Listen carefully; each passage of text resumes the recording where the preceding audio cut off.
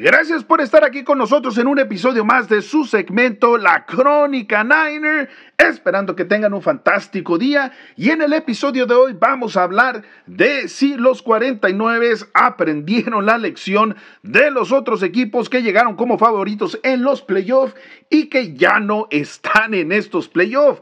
Podemos hablar de los equipos de la conferencia americana, los Cafés de Cleveland en contra de los Tejanos de Houston, muy pocos analistas expertos, insiders, le daban oportunidad a los Tejanos llegar en contra de los Cafés de Cleveland y poder ganar el partido. Sin embargo, ya vimos que en la NFL todo es posible. La postemporada, muchos equipos lo toman como otra temporada regular, donde pierdes y obviamente te vas a tu casa. En el caso de los Delfines de Miami en contra de los, de los jefes de Kansas City, mucho se habló de cómo los jefes de Kansas City no llegaban en su mejor momento, no tienen receptores, los receptores dejan caer todos los pases de Patrick Mahomes y como la ofensiva de los Delfines Delfines de Miami puede poner 70, 80 puntos por partido. Bueno, ya vimos qué fue lo que sucedió también.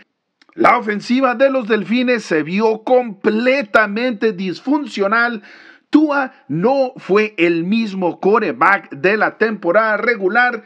Y bueno, los jefes de Kansas City todavía están en los playoffs. Los delfines de Miami ya están en su casa. Pero ¿qué tal los equipos de la conferencia nacional? Hablando de los vaqueros de Dallas en contra de los empacadores de Green Bay. 12 ganados, 5 perdidos. Sembrado número 2 de la conferencia. Contra el número 7 llegan los empacadores y destruyen, destruyen a los vaqueros de Dallas. Ahora sabemos que los vaqueros de Dallas siempre, siempre, siempre tienen muchos problemas en los playoffs, específicamente Dak Prescott que tiró dos pases de intercepción un pick six en este partido en contra de los empacadores de Green Bay. Pero bueno, ¿cuál sería la pregunta más importante? Si los empacadores son muy buenos o si los vaqueros son muy malos. La defensiva de los vaqueros en este partido se vio como una de las peores defensivas en toda la NFL. Pero continuemos con otros partidos. ¿Qué tal el partido de las Águilas de Filadelfia en contra de los Bucaneros de Tampa Bay? Donde también las Águilas llegaban como favoritos para ganar este partido y los Bucaneros se vieron muchísimo mejor en todos los aspectos. Ahora, sabíamos que las Águilas venían en, un, en, en una mal, muy mala situación después del partido en contra de nuestros 49. No fue el mismo equipo. Sin embargo, bueno, es un equipo muy bueno, de eso no hay duda. Sin embargo, los Bucaneros, bueno, desmantelaron, despedazaron a las Águilas de Filadelfia. No hay que confiarnos. Los empacadores son muy buen equipo. Es por eso que llegaron a los playoffs. Jordan Love es uno de los mejores, o bueno, ha sido uno de los mejores corebacks en la NFL en esta temporada, que por cierto, números, estadísticas muy similares a las de Brock Purdy.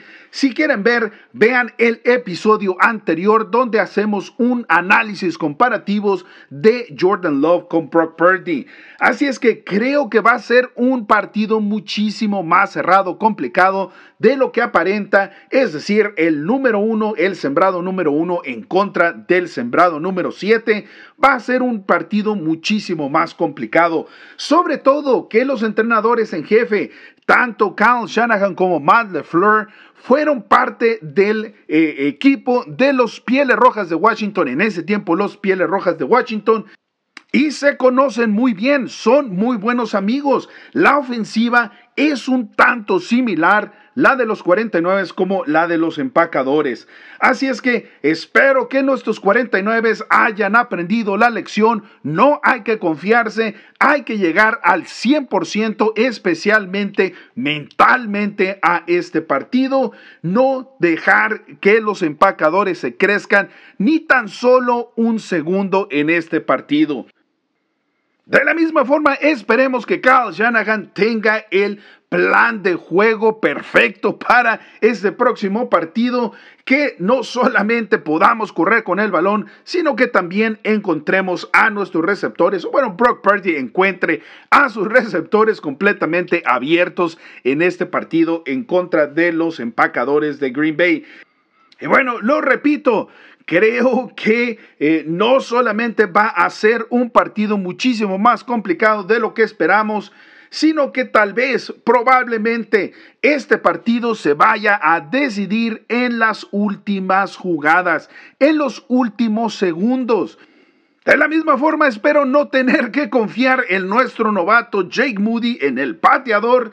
Sin embargo, bueno, Esperemos que sea un partido sumamente sencillo para nuestros 49. Como lo comento, no creo que sea ese el caso. Sin embargo, mi deseo es que sea un partido en el cual dominemos de principio a final. Y bueno, no me queda más que agradecerles su atención. No olviden suscribirse, comentar, darnos un like y no se pierdan los próximos episodios de su podcast, The Red and Gold All Niners.